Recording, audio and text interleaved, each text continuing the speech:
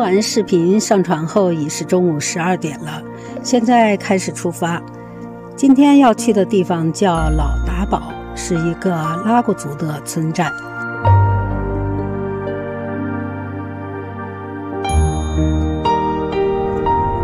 还有四点九公里就到达老达堡。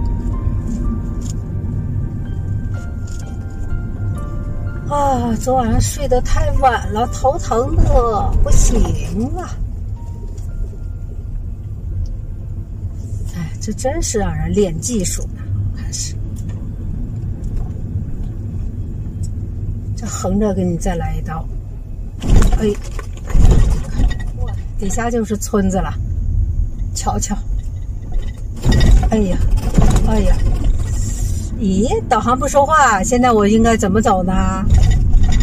啊，都有灯呀，也不来人。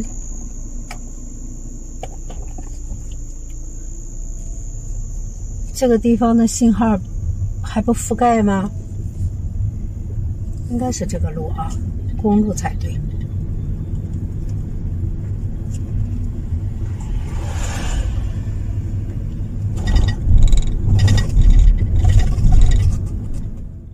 爬了近二百公里的山路，终于于晚上七点半到达了老达堡古村寨。本想登记一个民宿，一问价格一百多，算了，还是住在车上吧。